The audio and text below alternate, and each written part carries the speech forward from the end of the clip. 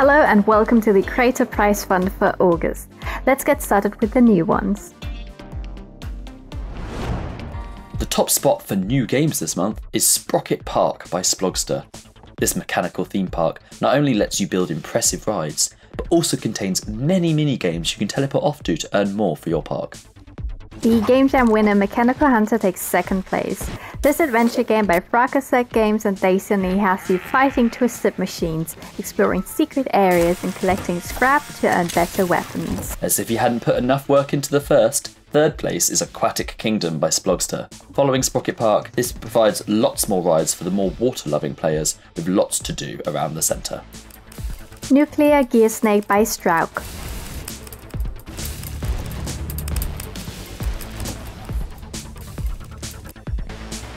Clockwork Tower by Iceland.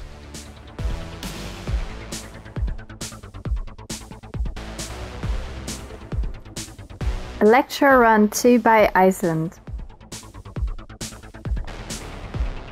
All Geared Up by Tantalum Games. Stack Scrappers by Dry Cereal. Escape the Factory by BK979 and Chet06. Snipers vs Runners by Chunky Lover Mark. Crayta Paintball 3, also by Chunky Lover Mark. Nice work. DJ Hub by DJ ZK. Shadow Factory by Ekelrock. Going Home by Seven Dos. And Tomb Crater by Splogster.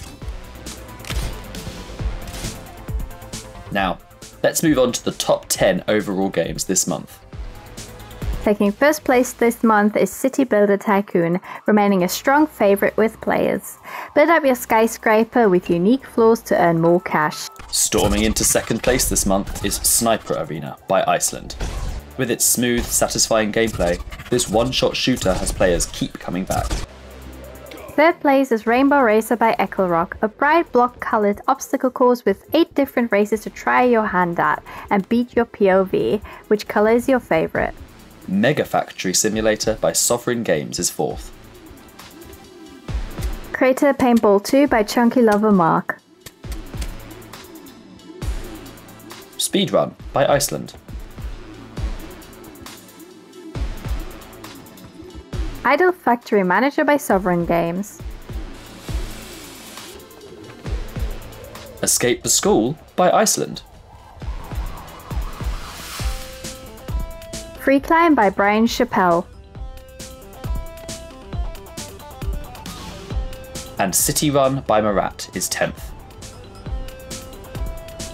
And that's all our wonderful winners. Congratulations to all of you. We're so glad to see players loving your games and proving how possible it is for anyone to make and play games in Crayta. Thanks for watching. And don't forget to like this video, subscribe, and comment below letting us know which winner is your favourite. Check out the links in the description to get more involved with the community or to jump straight in. See you soon!